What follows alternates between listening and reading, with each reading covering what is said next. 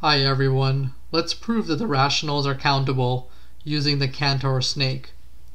So the rational numbers are those numbers that can be written as a over b that are governed by certain rules. And a and b are in the integers. Now, they're not all distinct. So, for example, 1 over 2 is equal to 2 over 4. But we're not going to worry about that just yet. I'll, I'll mention that in a, in a moment. And we're also going to be working with the positive rationals initially. And what we want to do is put the positive rationals in bijection in bijection with the positive integers. So we want to list them out like this, which doesn't seem possible, but we will show that it is possible. So look at this array here, this infinite array. In row i and column j, we write the number i over j.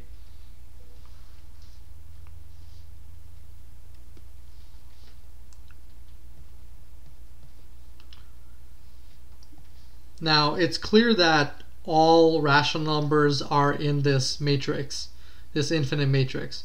So what we do is that first we our first element is this one. Then we go like then we go to this one and then we go to this.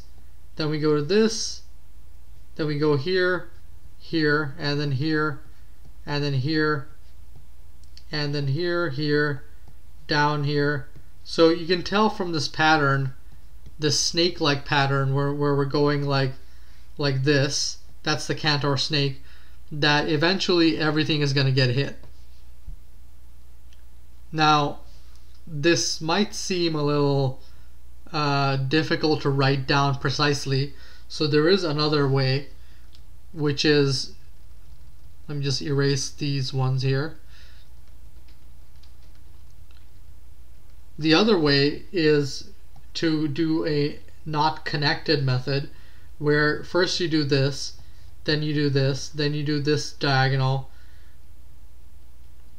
then you do this diagonal, and you keep going across diagonals like that.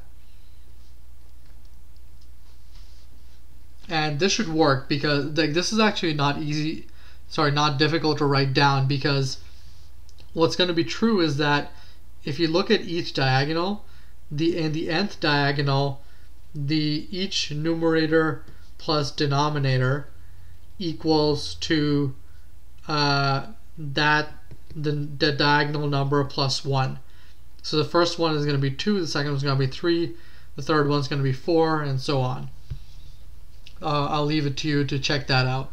So the positive rationals are countable. We just showed that they are. Now we have to show that the rationals themselves, which has more than double the size in a sense, is also countable. And the way that we're going to do that is similar to how we show that the integers are countable. What we do is that we take 0, then we take 1, then we take the negative of that element, then we do 2 and the negative of 2, then 3, then the negative of 3, and so on. So we just keep going like that, switching between positive and negative. So now that we know that the positive rationals are in bijection with the positive integers, the existent enumeration q1, q2, q3, and so on. So all we have to do is the following for the rationals. We do 0, q1, negative q1, q2, negative q2, q3, negative q3, and we just keep going like that. And that way we have shown that the rationals, all of them, are also in, in bijection with the positive integers. And the last thing I want to mention is that the Cantor snake, like we, The reason that this part doesn't matter is that we can always skip over repeats. We're, we're, we're sort of going through a process in the Cantor snake. So if we ever come across a fraction that's already been iterated over eh, previously, except in a different form, we just skip over it and we still iterate over all the rationals that way.